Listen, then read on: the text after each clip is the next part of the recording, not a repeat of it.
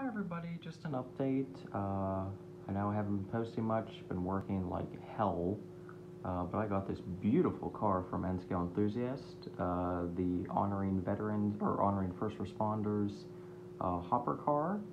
Um, I think it looks fantastic. I didn't think it would be coming out that fast, uh, but I did get it, and I love it a lot.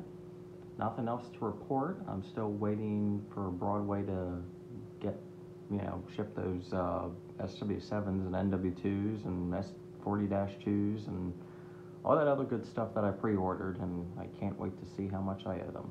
Other than that, that's pretty much about it. Thank you very much for watching, and please subscribe.